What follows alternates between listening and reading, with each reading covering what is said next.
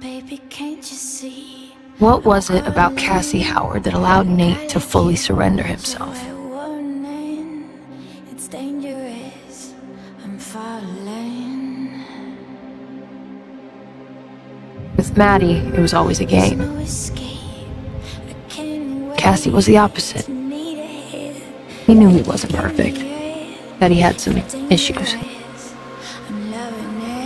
But maybe the reason he had those issues is because Maddy brought out the worst in him.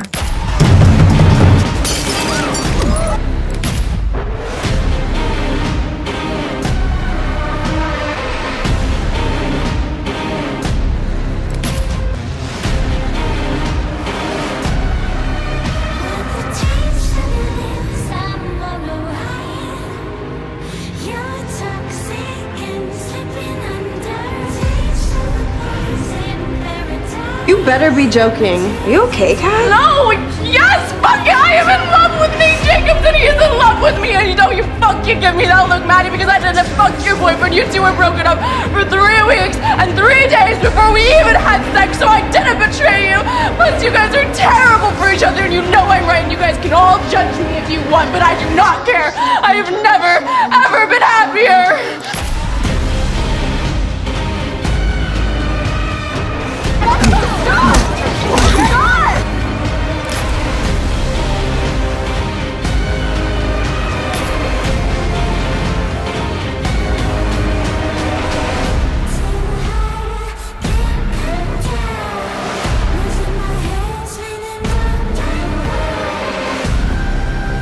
I'm gonna be honest with you because no one else will. Any guy who says he's interested in you beyond just fucking you is full of shit.